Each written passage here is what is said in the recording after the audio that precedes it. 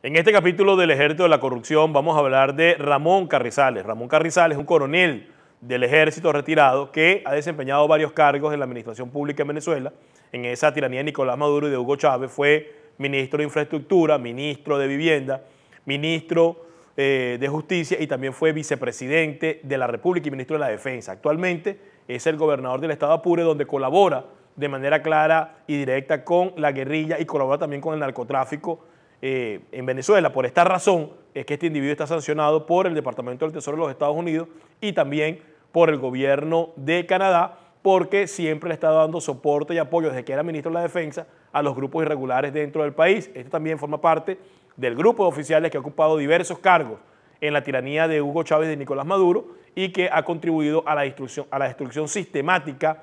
de la sociedad venezolana donde ellos han llenado sus arcas de dinero mientras el pueblo se muere de hambre, uno más para el ejército de la corrupción. Te invito a que te suscribas a nuestro canal de YouTube Contrapoder 3.0 y también a nuestra cuenta de Telegram Contrapoder News y también nos sigas a través de nuestra cuenta de Twitter arroba Contrapoder 30.